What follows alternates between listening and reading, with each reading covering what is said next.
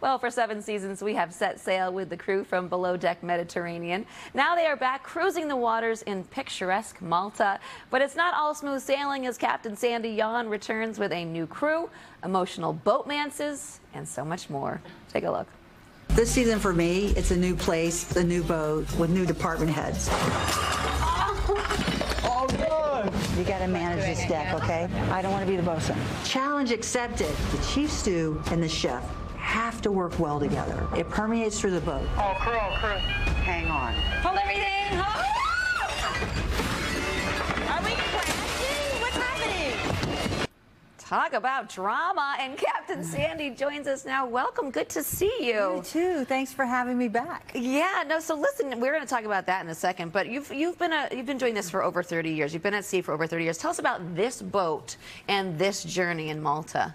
Cool looking boat, plumb bow. Never driven a boat like that in my life. Uh, Is that sophisticated. scary when you've never driven a you boat know, like it's that? It's a challenge, and I like the pressure. I think pressure makes us better. Yeah. Honestly, and why not? So I get on this boat. Stabilizer stopped working. I had no idea all that stuff was breaking downstairs. oh my God. No idea what the chef was going through the chief stew. How has that ever happened to you before? Of course, you know, but Oh, of I don't, course.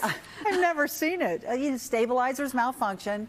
Oh Just we have this massive boat, a lot of equipment at sea, rocking. How big Things was this break. one? Uh, you know, that's a good question. I think it's 150. No, 160. I don't know. Oh my! This I don't big. remember. It's big. big. Yeah. well, you bring on a new team to this boat. Which do you do that every time? Every season, we sometimes people come back, and most often they're new. Yeah, and it's like you know we've seen times when there, when there's a lot of drama. We've seen times when people Mm-hmm. get along. What's the journey like this time? I laugh the entire time. Just stay tuned. Keep an eye. I don't, you know, honestly, uh, as far as the drama, Yeah. the first time you see it is the first time I see it. Yeah, because you don't you're not witness to a lot of that drama, right? No, they're on their Yeah. best behavior when I see them. Of course they are. Yes. Yeah. Well, and there, there's also some boatmances. Every every season, it seems like there are boatmances. Can they ever really work out? Is it ever a good idea to have these boatmances? You know, I can't really pressure them because I, they need to have some fun. As long as they keep Right. it below deck, I don't mind. The minute it comes, up, you know, above deck and permeates, and things start going downhill, hill, I, I step in. Yeah. Right. Uh, only when needed. Yeah, only when needed. Yeah. Well, we saw the stabilizers go out. What's the worst thing that's ever happened on any of these boats? Fires. Fires. Yeah, I've had fires. I mean, it happens. Good thing you have access to water. And yeah, access to water. yeah. That was good. I love that. You have a lot going on. Um, you've got a book too. Uh, tell us about the book. Called Be the Calm or Be the Storm.